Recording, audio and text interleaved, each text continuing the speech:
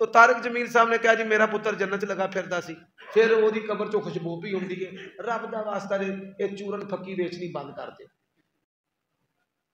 इस्लाम में खुदकुशी के बारे में क्या इरशाद है भाई खुदकुशी जो है ये कत्ल करना किसी को या अपने आप को कबीरा गुनाह है इनका नमाज जनाजा पढ़ा जाएगा इनके लिए दुआ मगफरत होगी कोई बंदा पकड़ ना ले तो मैं दलील भी बता देता हूँ सही मुस्लिम में हदीस है, नबी सलाम के एक सहाबी ने खुदकुशी कर ली।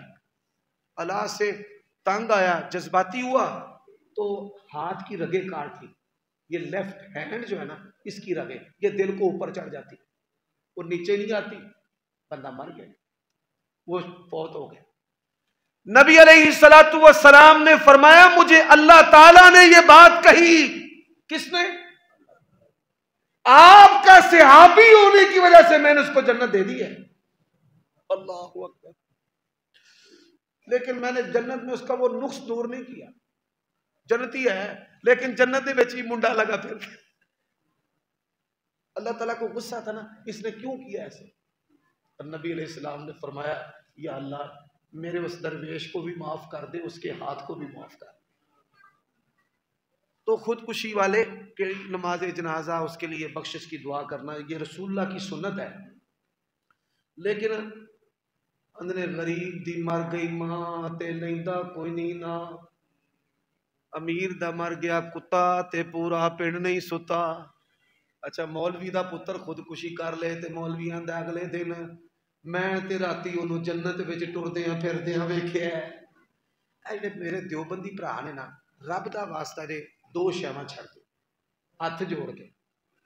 ਇਹ ਨਾ ਕੀ ਕਰਨਾ ਹੁੰਦਾ ਹੈ? ਦੂਜੇ ਦਿਨ ਖਾਬਾਂ ਬਿਆਨ ਕਰਨੀਆਂ ਹੁੰਦੀਆਂ ਨੇ, ਜੰਨਤ ਚ ਵੜ ਗਿਆ।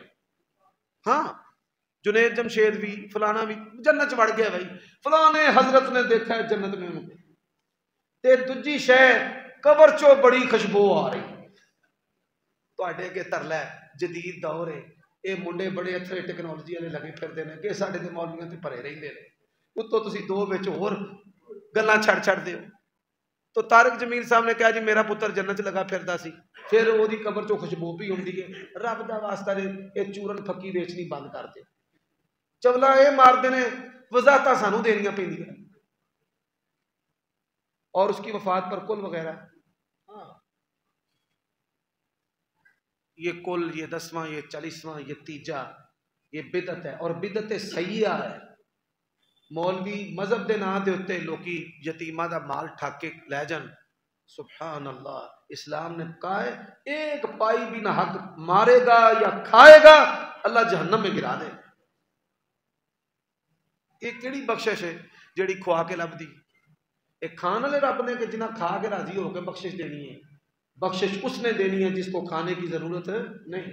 नहीं अनाल वला दिमा वला की अनाल तकवा मैंने ਤੇ ਤੁਸੀਂ ਭਾਬੀ ਵੀ 99% ਮਾਂ ਪਿਓ ਵਾਲੀ ਬਰੇਲਵੀ ਬਣ ਜਾਂਦੇ ਹੋ ਕਈ ਡਕੇਤ ਆ ਕੇ ਤੁਹਾਨੂੰ ਦਾਕਾ ਪਾ ਕੇ ਟੁਰ ਜਾਂਦੇ ਨੇ ਰਵਾ ਰਵਾ ਕੇ ਰਵਾ ਰਵਾ ਕੇ ਆਂਦੇ ਨੇ ਯਾਰ ਹੈ ਤੇ ਬੜਾ ਇਹ ਹੋਏ लेकिन रातियों ने बड़ा ही रोया है मैंने देखा है हमारा जो मजमा है ना गैर संजीदा लोगों का है यहाँ तुम थिएटर वाले मौलवी हसान वाले पसंद करते हो तो यहाँ रोहान वाले पसंद करते हो तो मसले वाले नहीं चाहिए